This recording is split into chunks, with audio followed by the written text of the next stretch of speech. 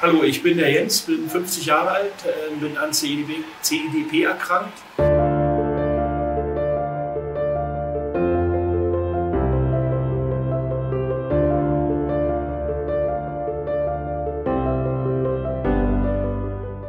Ähm, angefangen hat es mit ähm, Nerven, also mit Taubheit in den Füßen 2013. Dann hat mein Hausarzt mich zum Neurologen geschickt, der mich dann später, als er nicht mehr weiter wusste, in die Charité überwiesen hat. Und 2014 im September wurde dann bei den ganzen Untersuchungen die Diagnose CDP gestellt. Also eine sehr eindeutige Diagnose. Ich war ganz froh, dass ich die Diagnose hatte, obwohl ich nicht froh über die Diagnose war, aber ich wusste wenigstens, worum es geht.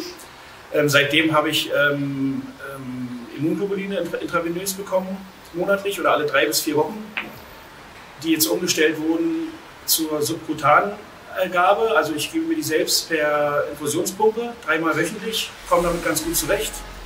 Allerdings kann ich ganz noch nicht die Erfahrungswerte so wiedergeben, weil das noch recht frisch ist, weil das alles erst ziemlich neu ist. An Medikamenten nehme ich noch Gabapentin, 3x900, ähm, Palexia 2x200 und dann ein Antidepressivum. Ja, genau. Äh, das soll ja unterstützend wirken